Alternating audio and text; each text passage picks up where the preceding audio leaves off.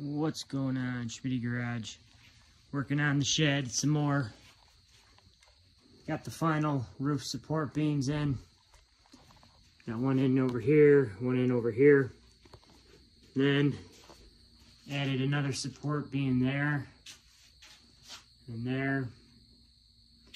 And then just built this shelf going off the center 4x4 with leftover 2x4s and plywood.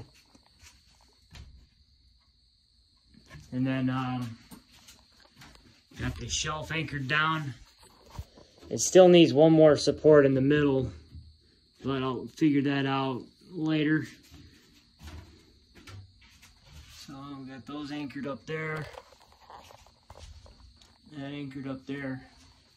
It's pretty cool, maximizing space. So the tow dolly goes here, and one tractor, two tractor, and whatever else like all this yard stuff's going up there. Whatever else I want to throw up there. All right. Peace.